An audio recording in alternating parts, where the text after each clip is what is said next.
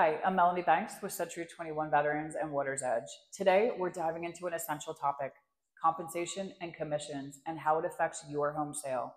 Knowing how real estate agents are paid and how commission works can help you make the best financial decisions when selling your home. So, let's start with a common misconception there are no standard or traditional commission rates in real estate. Commissions have always been negotiable and should reflect the experience, expertise, and a value that an agent brings. When signing a listing agreement with your agent, you're agreeing on compensation for their services. And remember, no one works for free. Historically, sellers often covered the buyer's agent commission, but recent changes are reshaping this. With new regulations following the settlement between the National Association of Realtors and the Department of Justice, buyers are now taking more responsibility for their agent's compensation. This means that the buyer will negotiate their agent fee directly, and both the buyer and their agent will agree on those terms before ever seeing any properties. How does this affect a seller? Well, with this structure, the MLS will no longer display commission details, and we won't know the exact terms between the buyer and their agent. This change allows for a more flexible approach when deciding on any concessions. As a seller, you have the option to offer a concession, such as a closing cost credit, to help make your home more attractive. However, because we won't know the specific agreement between the buyer and their agent, we won't need to set a fixed amount up front. So instead, we can handle this on a case by case basis, potentially offering concessions only when necessary to make a deal work. The advantage of this?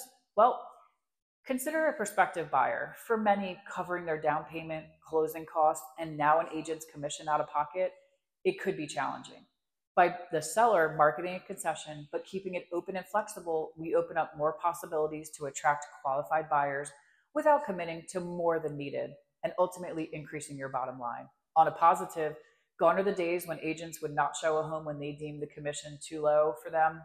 The buyer's agent negotiates with their buyer and then ultimately into the transaction. The bottom line this creates a case by case strategy at our brokerage. We recommend handling concessions just like that with a focus on maximizing your bottom line, what you walk away with after the sale. We'll work together to consider the specific circumstances, level of interest, and marketing conditions to decide the best approach for each situation. With each offer, you will receive a net sheet that includes all information on the offer, including the buyer's agent concession, if needed, and your bottom net number. Let's face it, if the net is acceptable to you, the buyer's agent concession doesn't even matter. Ultimately, the goal is to keep your options open and responsive. In today's evolving market, this flexible strategy ensures your home remains attractive to buyers while safeguarding your financial outcome. So, here's some questions to ask a listing agent before signing a listing agreement. What is your strategy on offering a commission to a buyer's agent?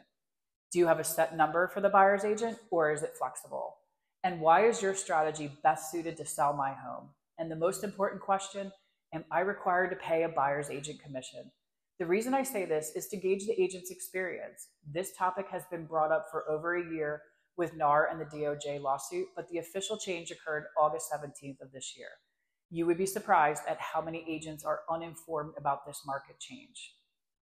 We have taken and taught extensive classes on this and are still one of the few who find this change to be a positive for home sellers.